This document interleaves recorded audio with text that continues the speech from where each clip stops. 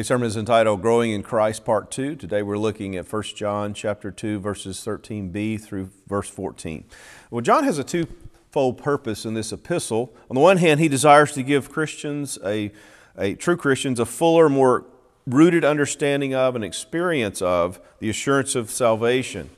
At the same time, he's concerned that those who are not true believers, but who think they are, that they would not be falsely assured of their salvation. So we began a passage last week, um, this passage here in 1 John 2, verses 12 through 14, where John pauses and he recognizes how hard it is to both provide assurance and challenge inauthentic faith at the same time, because he knows that even as he undercuts the, the, the false salvation of some, that that can have an unintended consequence of, of causing true Christians to become insecure and uh, to doubt their own salvation, the salvation of their hearts. And so he pauses to give this important word of assurance to humble, faithful believers, not only in his original audience, but really to all Christians in all ages and all congregations everywhere. So let's ask the Lord's help before we read his word today. Father, this is your word, and we humbly ask that as it is read and expounded, you would open it up to our understanding.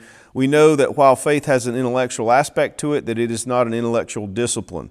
And so, Holy Spirit, will you work in our hearts even now? Speak to us and increasingly transform us into the image of Christ our Lord, in whose name we pray. Amen. So, 1 John chapter 2, beginning of verse 12. I'm writing to you, little children, because your sins are forgiven for his name's sake. I'm writing to you, fathers, because you know him who is from the beginning. I'm writing to you, young men, because you have overcome the evil one. I write to you, children, because you know the Father. I write to you, fathers, because you know him who is from the beginning. I write to you, young men, because you are strong and the word of God abides in you, and you have overcome the evil one. Amen. May God write the eternal truths of his word upon your heart and mine. Well, these verses are about growing in spiritual maturity.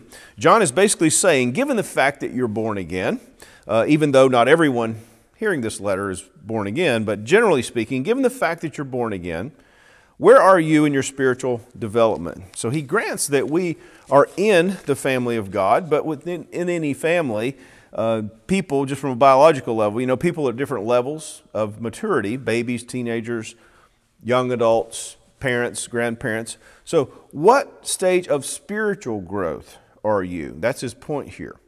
Last week, I proposed three headings to help us walk through this, these verses. There's the reassurance that our sins are forgiven. And then, secondly, there's the recognition that we are all at different levels of spiritual growth and maturity. And then, thirdly, there's the reinforcement of what John just told us. Last week, we barely made it into the second point. briefly, then, in verse 12, we talked about the reassurance. The fact that John reassures those who have been born again that all our sins are forgiven. And the reason he does this is because he's been putting out these, these tests. And of course, he knows that none of us can follow God in perfect obedience, which is going to leave even true believers at times with a lot of angst. And so John knows that we need reassurance that our only standing before a holy God is in our faith union with Jesus Christ. And he speaks to us in the context of the gospel, and he says, Dear believer, your, your sins are forgiven. Well, then the, the second main heading in verse, thir, uh, verse 13 was the recognition that not all believers are at the same place in their spiritual growth. That while we are not all, that, that while we are all equally forgiven, we are not all equally developed. So, in order to illustrate that we're all in this process of growing spiritually, John uses three basic categories, spiritual categories within the family of God, which are really three subpoints under this main heading of the recognition that we're all at different levels spiritually. Well, the first one is the intimacy stage, which are fathers, and, and that includes mothers, of, of course. The infantry stage, which are young men, including young women, and the infancy stage, which are boys and girls. And so John is using these terms, of course, not to refer to physical characteristics, but spiritual characteristics. We only made it through the first one last week, the intimacy stage, and with fathers. The term fathers represents those who are the most mature in the Lord. They're those who have grown in the grace and the knowledge of Christ over the years. They've endured uh, significant suffering in different ways. They've had their faith tested. They have experiential knowledge of God in ways that have caused their faith to be strengthened. You've walked with the Lord long enough and experienced enough difficulty to give you perspective and humility and patience and understanding and wisdom and strength and, and tenacity and perseverance. And none of this is even from you. It's because the Holy Spirit is working in you, preserving you, carrying you along this journey in this divine matrix of suffering until you go with, to be with the Lord.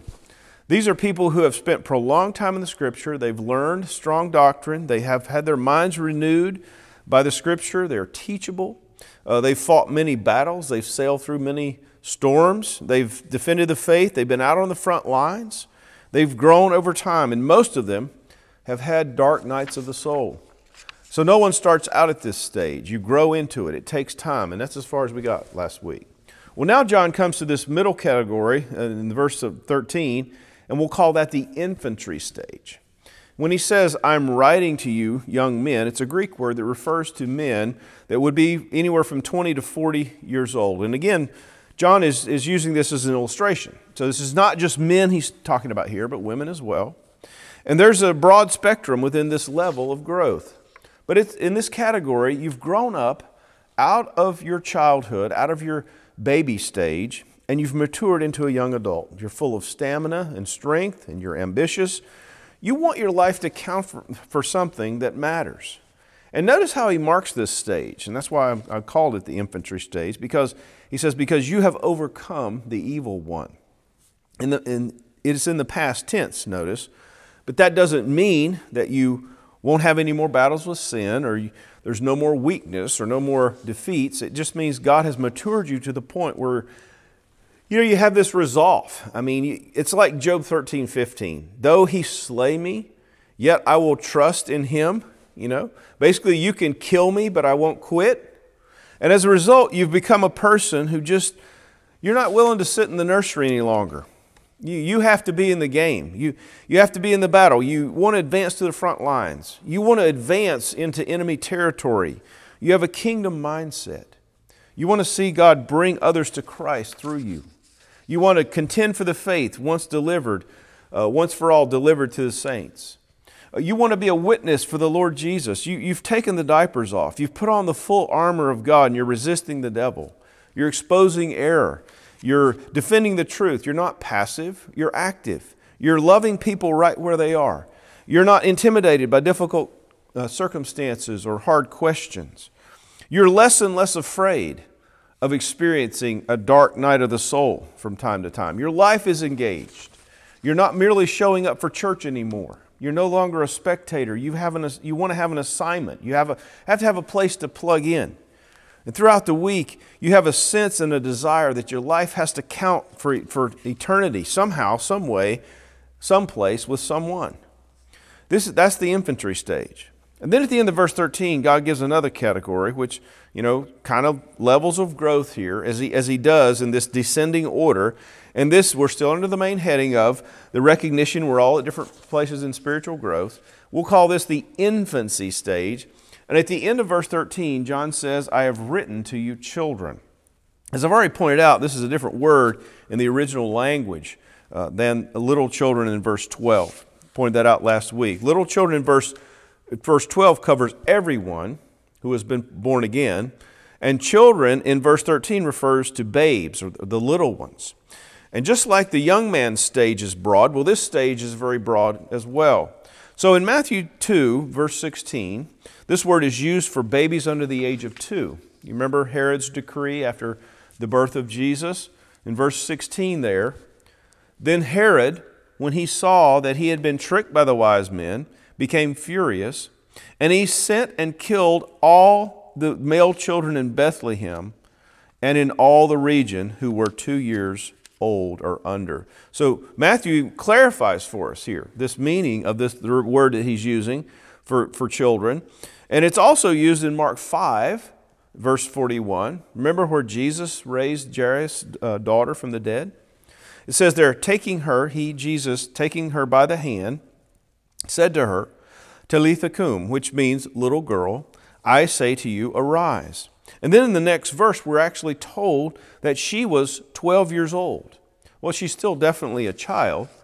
Uh, and, and, then in Mark 9 36, where a few verses earlier, that you remember the, the disciples had been arguing with one another about who was the greatest. After which Jesus sat down with them and he said, If anyone would be first, he must be last of all and servant of all.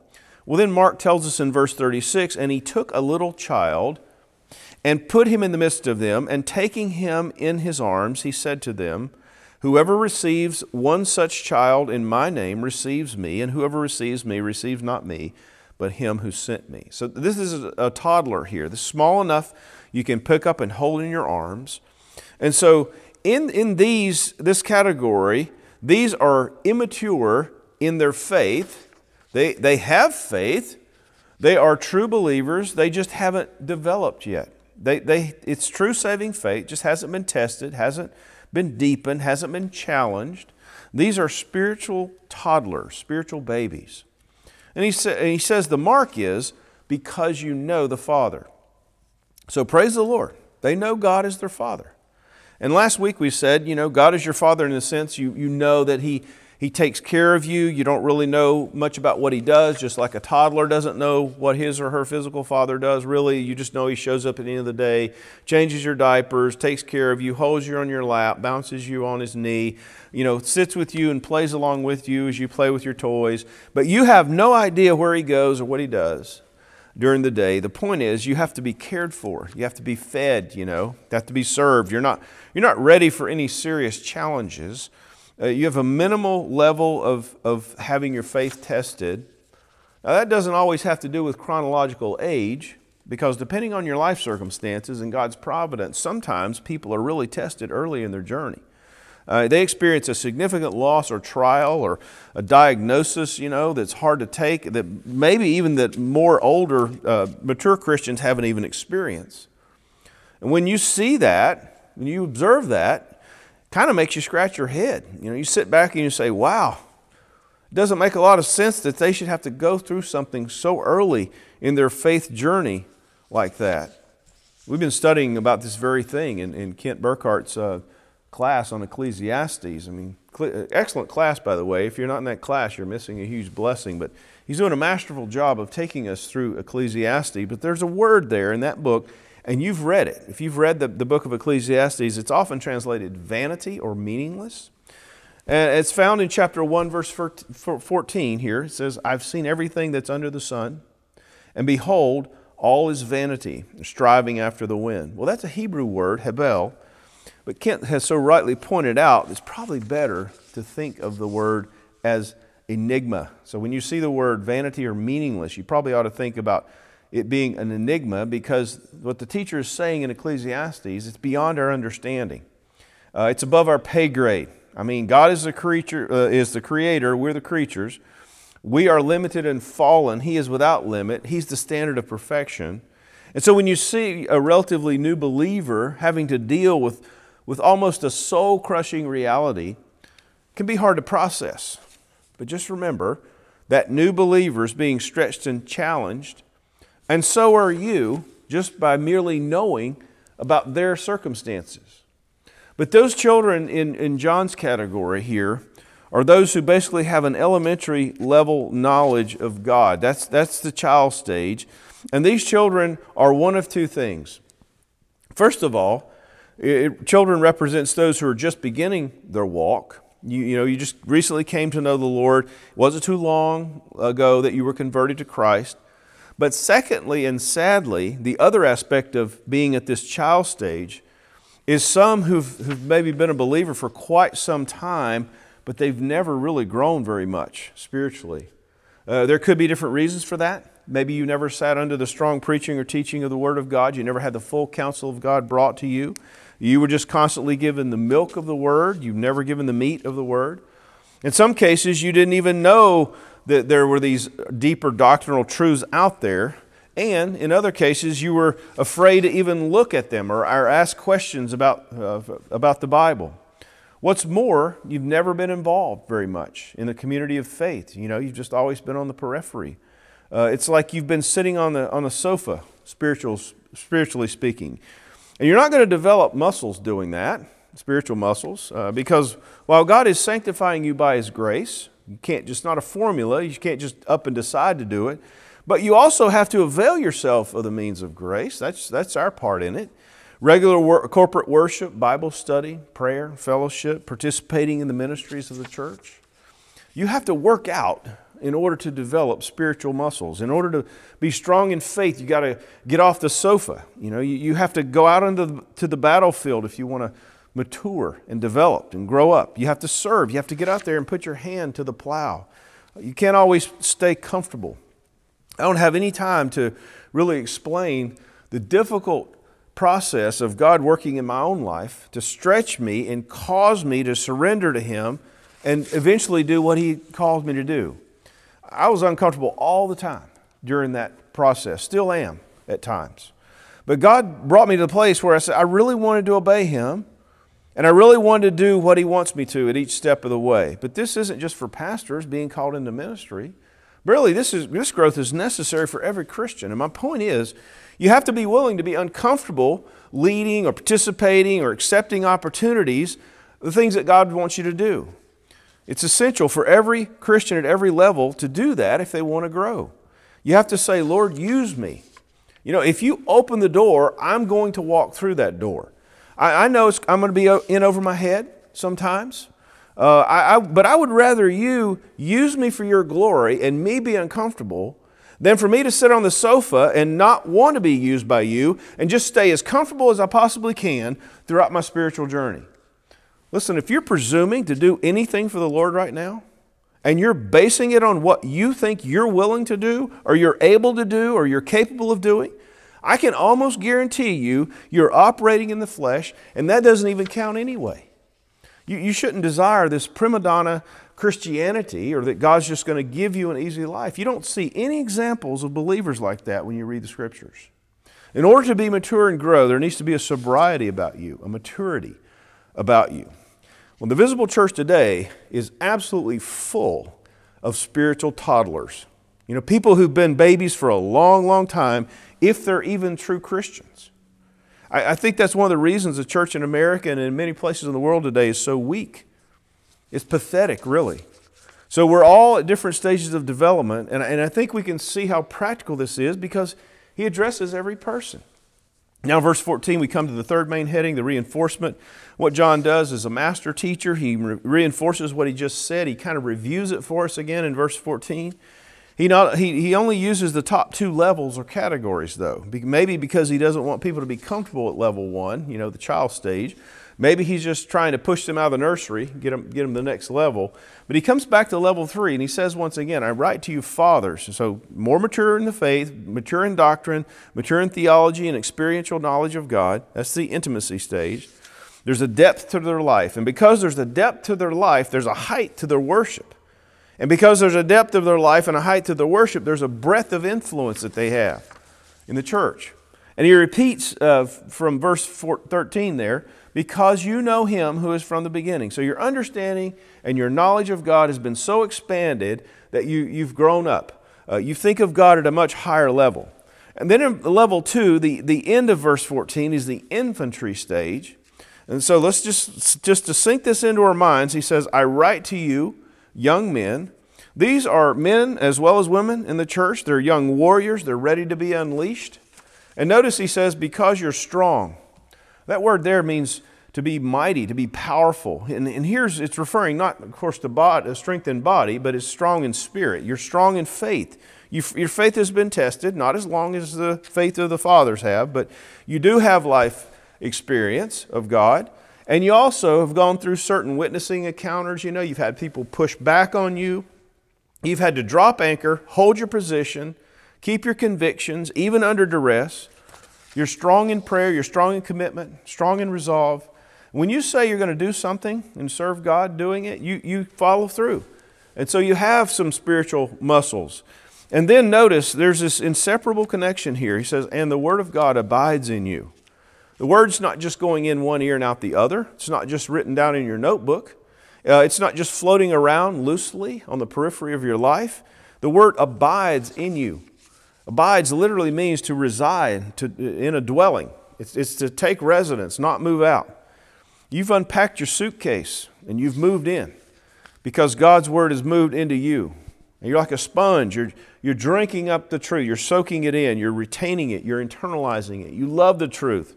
You're amazed it's taken you this long to learn this. It's like, aha, where have I been on all this? And the more you learn, the more you realize how little you know.